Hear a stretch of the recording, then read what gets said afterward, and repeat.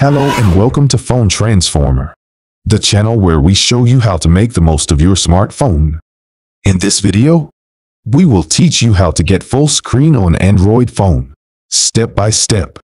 Full screen mode allows you to enjoy a more immersive experience on your phone by hiding the status bar, the navigation bar, and the notch. It also enables you to use gestures instead of buttons to navigate your phone. Let's get started. Step 1.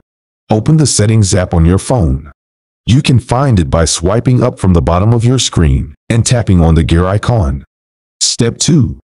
Tap on Additional Settings, which is usually located at the bottom of the Settings menu.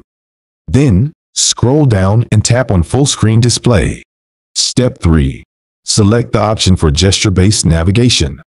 This will enable you to use swipe gestures to go back, go to the home screen, and switch between apps.